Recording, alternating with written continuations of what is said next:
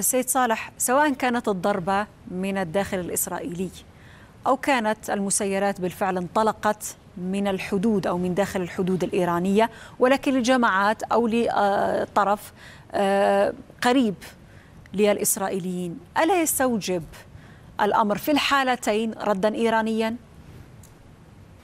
الحقيقة الإيرانيين أعلنوا أنهم لن يردوا يعني على لسان المسؤولين لأنه أولا أنكروا وجود هجوم خارجي وثانيا لم يتحدثوا عن أضرار وحاولوا التقليل من أهمية هذا الهجوم رغم أنه الهجوم الحقيقة في منطقة حساسة جدا.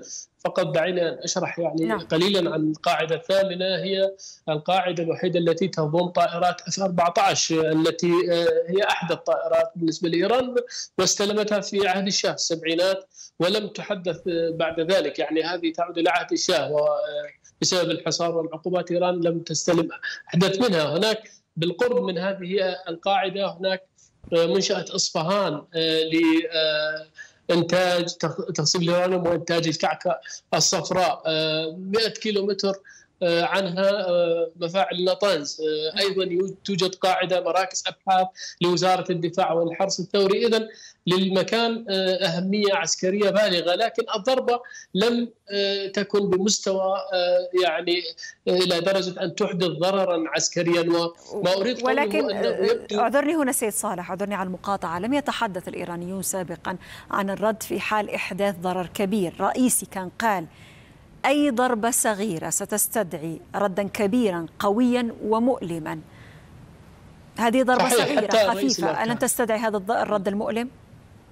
حتى رئيس الأركان وقائد الحرس الثوري حسين سلامي ورئيس الأركان محمد باقر يتحدثا عن ما اسمه بالمعادلة الجديدة وهي أن إيران سترد على أي هجوم إسرائيلي من داخل أراضيها إذا ما تعرضت اي أهداف ولكن بما أن إسرائيل لم تعلن لم تتبناه الآن وإيران تقلل من حجم هذا الهجوم وتتحدث عن التصدي لبضعة مسيرات ف يبدو أن أنهم في مرحلة الابتعاد عن الرد أو عدم تقبل أي مسؤولية لكي لا يترتب عليهم حق الرد. لكن ما أريد قوله أن هذه العمليات سواء الهجوم الإيراني أو الرد الإسرائيلي عليها الآن إذا ما تبنته إسرائيل يبدو هي تحقيق لأهداف سياسية أكثر منها أهداف عسكرية، لأنه لماذا يتم ضرب الرادار ولا يتم ضرب القاعدة نفسها وطائراتها أو المواقع القريبة منها خاصة تلك المنشأة التي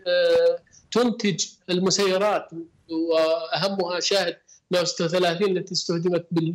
استخدمت في الرد الايراني على إسرائيل. فأنا أعتقد انه إيران تريد إيصال رسائل سياسية وإسرائيل أيضا تريد التخفيف عن الضغوط الدولية والضغوط الداخلية. والنظام الإيراني أيضا أراد أن يقول أنه رد على استهداف جنرالاته في سوريا. لكن أكرر أنا حول السيناريوهات أنه إما أن إسرائيل عادت إلى حرب الظل ولا تريد الإعلان عن هذه الردود بسبب الضغوط الدولية أو أنها قد تكون بداية لسلسلة من العمليات بداتها باستهداف مكان يحمل رمزية كبيرة من الناحية العسكرية والسياسية في إيران.